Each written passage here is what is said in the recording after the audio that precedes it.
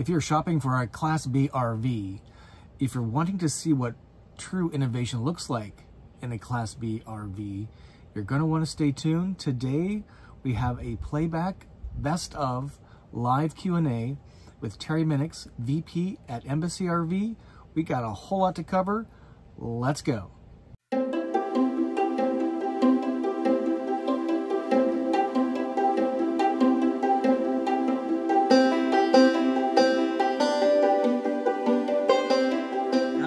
Tuning in today. Really appreciate that. My name is Scott. I'm your host. Welcome to Go Small, Live Large. We are a YouTube channel dedicated to sharing the learnings from the road from my 2019 Winnebago Travato, a Class B RV that I've lived in full time since February 2019.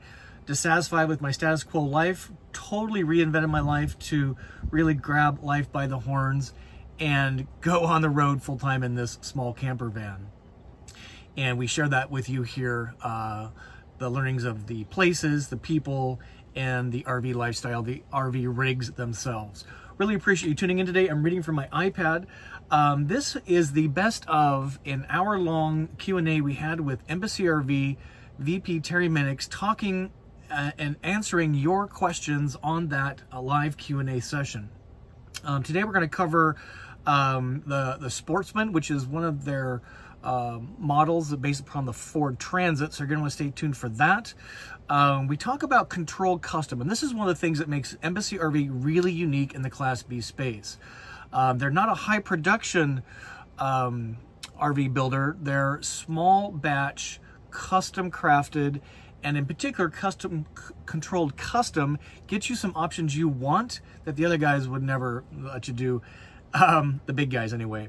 Uh, we have a Laveo Dry Flush demo. Um, we talk about the hydronic hot water system.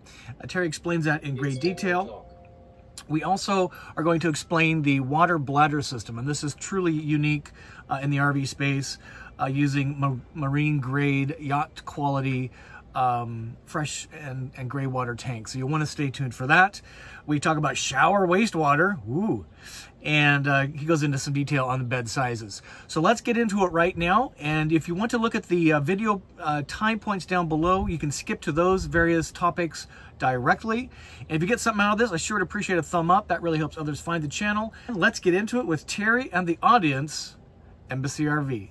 Um just give us a little bit of a tour of the sportsman. Some of these folks are may not be familiar with it. So one of the things I like about Embassy is that you have three floor plans essentially, your choice of chassis, and this uh, sportsman is somewhat new to the lineup, right? And it's uh, it's yeah. a little bit different. So maybe um, are you able to give a little bit of a tour of, of the rig?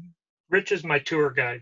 I All get right. to sit here and Rich is going to go around and show things. So um, basically it's just a real open vehicle. It does have the side venting system, so we don't have any holes in the roof. Um, and everyone has to know part of this design technique is if somebody didn't like the chest freezer and they wanted this cabinet to move forward and we add another cabinet and put the tall refrigerator in, absolutely. You know, those are the things that we can do. It doesn't bother a thing.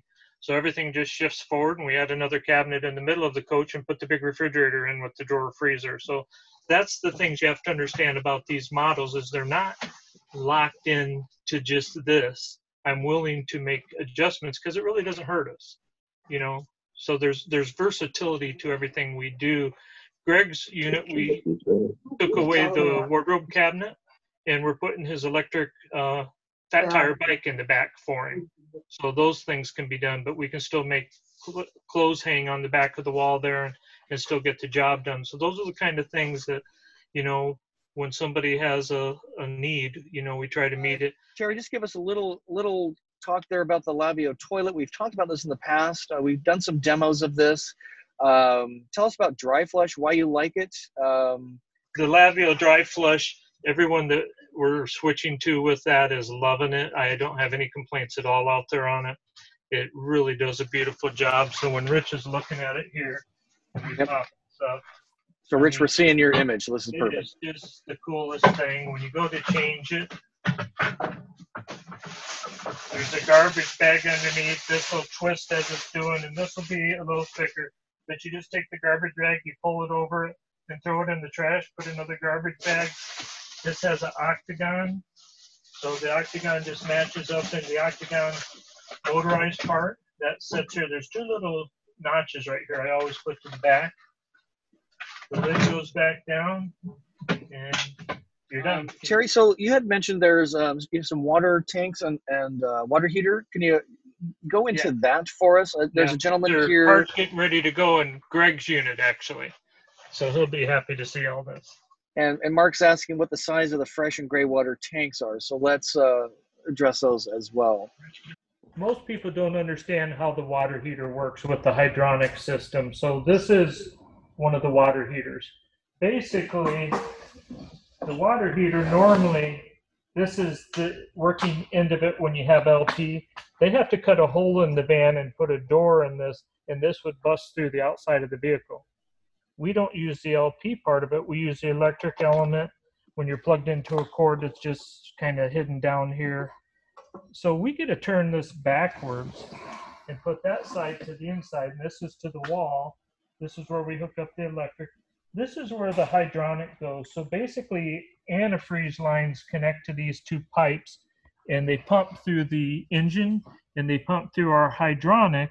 And these are wrapped around the core of the tank and it just keeps the water hot all the time. And then these are the freshwater lines, the cold in and the hot out. So everything's done on the back of this and it sets underneath the end tables right behind the driver's seat so you don't even see it. And then the water tanks are located next to it. So this is the gray tank and this is the fresh tank. So all the plumbing runs right along the wall and it's all run just slightly downhill. There's no dips or anything in it. It's really clean. And this is how the water is set up underneath the bed system.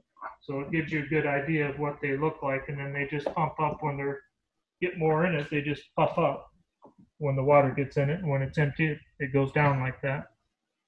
And it doesn't need any venting because there's no air needed to move the water around. It, it flexes with it, so you don't need to displace the air that would be in a normal tank. And Terry, what are the capacities of those? What's the capacity on the tanks, Terry? The tanks are 23 and a half gallon each. We do have some customers, again, we're gonna stretch the rules a little bit, that wanna make both of those freshwater. So that's 47 gallons with another six gallons here.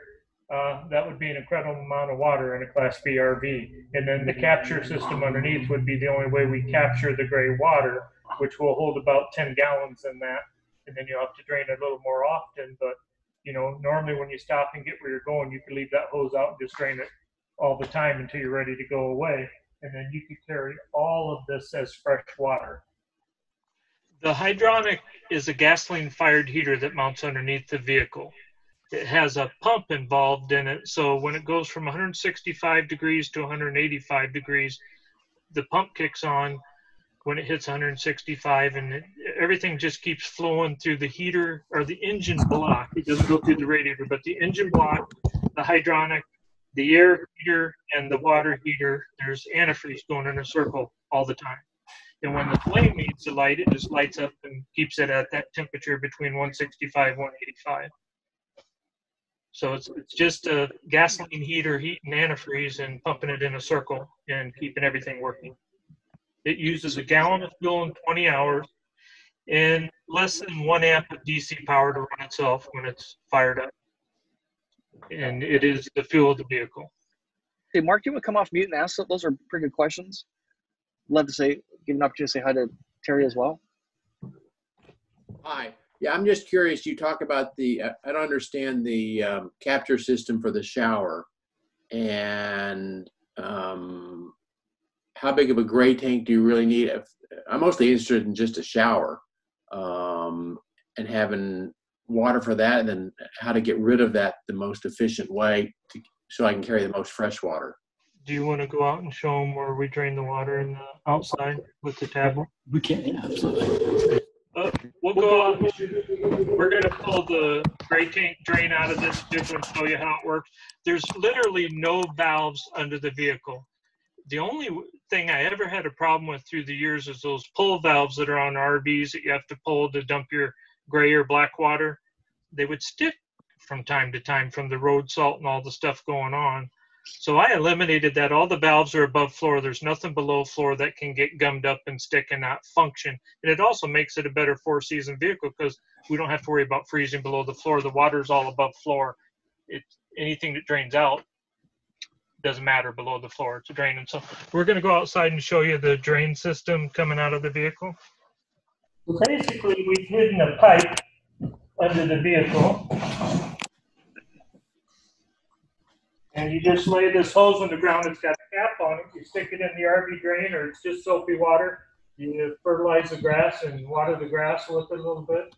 But it's the coolest thing because it stows away. You can't even tell it's under there but it's long enough to get away from the vehicle and drain it. You can have a little hose to hook on and go further if you want. But this stows right in a little system right underneath the vehicle. And it's just And how does it know to go to the um, the capture system versus going to your gray water tank? Well, the sink water goes to the gray water tank. The shower water goes to the capture system underneath the vehicle, but they both meet up under the vehicle and go out of that hose. So above floor, you have a valve you have to open for the gray water tank under the sink. And when you open that, that gray water tank now is connected to the capture for the shower, and they both drain out the same hose. So the capture for the shower is how much water does that hold and, and what is it that it's holding? Where, where does it go? It's a series of piping under the vehicle so you can't even see anything under there and it holds 10 gallons. So what I did is I plumbed a series of piping that will hold 10 gallons of water without seeing anything from under the vehicle visually. You have to lift the vehicle up to see the pipes. And that if you are winter using it in the wintertime, will that freeze or do you just want to empty it when you're done with your shower? All you do is pour some RV antifreeze down the shower drain if it's below zero and it just okay. mushy and you don't have to worry about it. So really you don't need a very big gray water tank if it's just taking the sink water. Yes. Uh, and you'd be better off having a bigger freshwater tank. Yeah. Um, Exactly. Like I say, I have some customers taking both of the bag tanks and making them fresh water and capturing both the sink and the shower under the vehicle in the series of plumbing that we capture and letting them drain out through that hose. If you're out remote camping you leave the hose on the ground, you, it's open, it's draining constantly, it won't hold any water on board.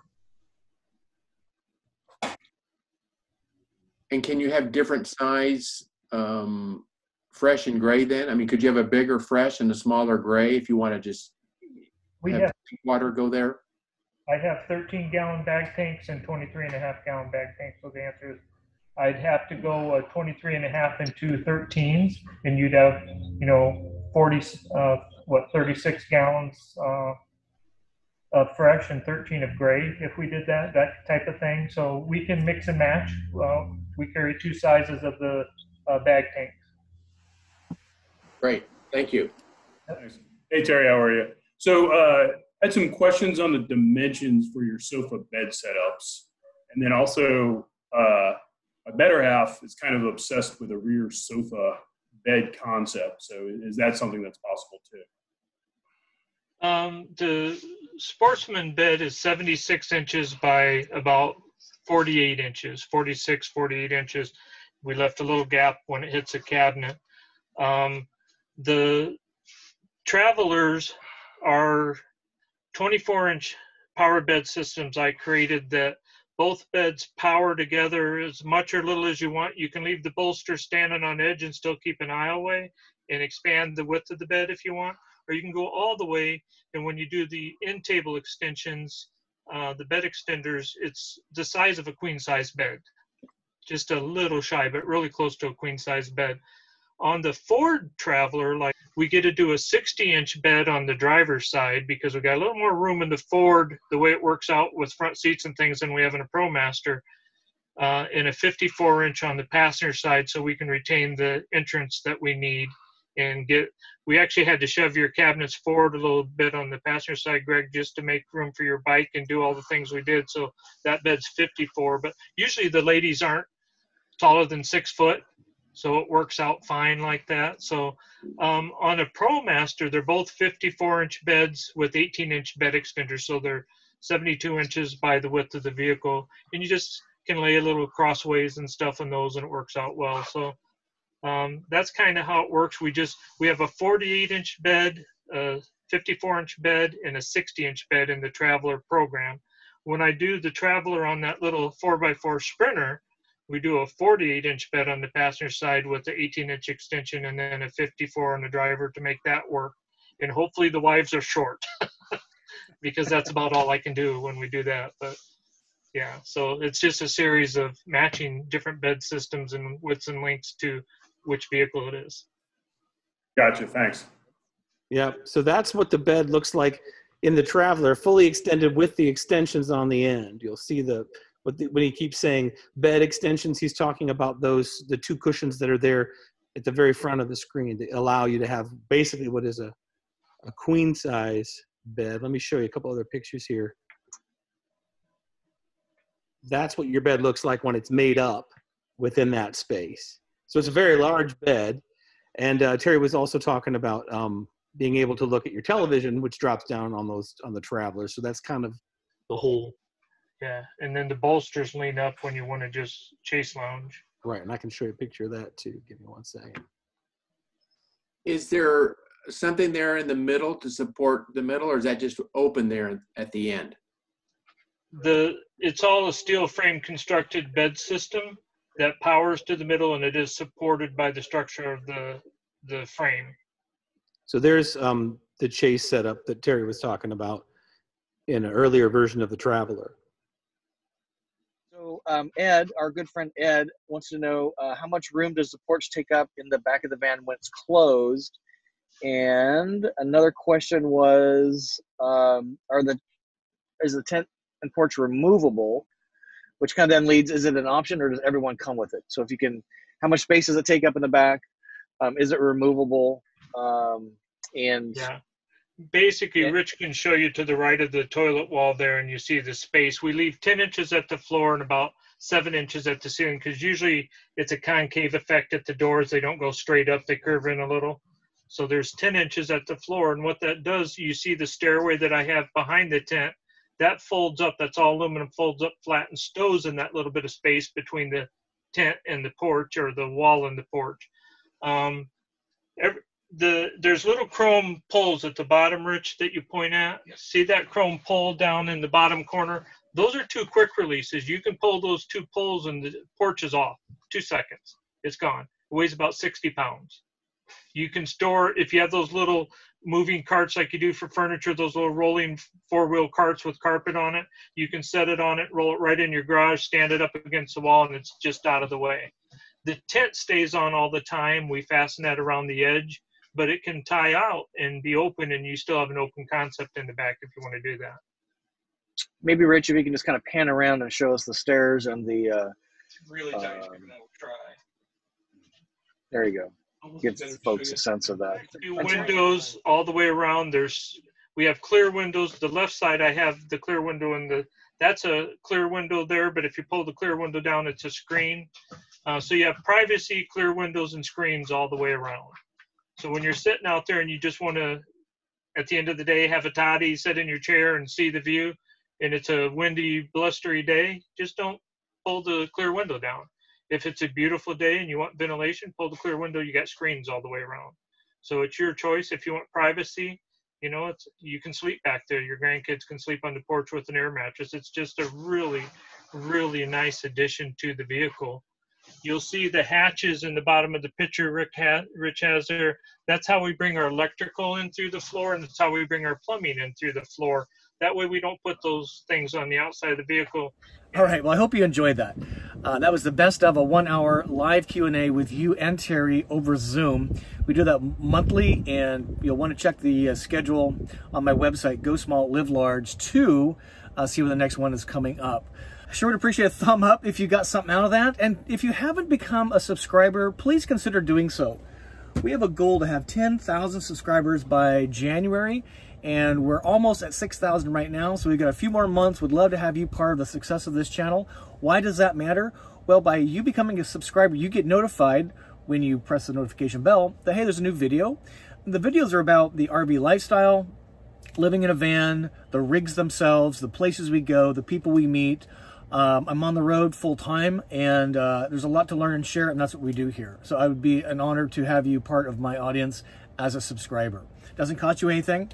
Um, again, going to my website, you'll see that there's events there you'll want to share. If you trust me with your email address, you can get notifications of the events coming out. We do about one email per month um, with some valuable information there. And there are things on the website that you're not going to find here on YouTube. So another reason to go check out the website, Go Small, Live Large. Speaking of websites, if you're interested in Embassy RV and you want to see some photographs, some video um, of their product lines, um, three floor plans, three chassis, pretty unique in the uh, RV space, go check them out. EmbassyRV.com. Um, if you want to pose a question to them, there's an online forum. Tell them Scott at Go Small Live Large sent you, and uh, be sure uh, to reach out to them directly. You're welcome to place comments and questions here. Better yet, come to one of the live events, and you can ask Terry for those uh, specifically and in person. uh, so with that, we uh, will thank you again for attending, and I wish you to live happy, live free, live RV. See you later.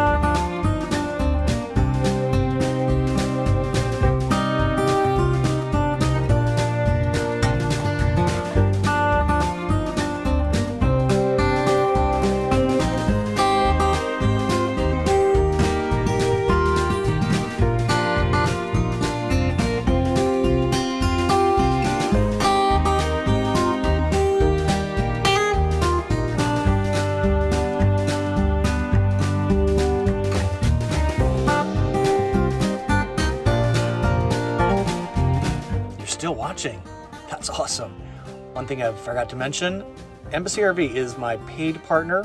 I am thrilled to be associated with these folks, even though I live and work from my Winnebago. Travato, Embassy RV is a fantastic partner to me and to their customers and to this audience.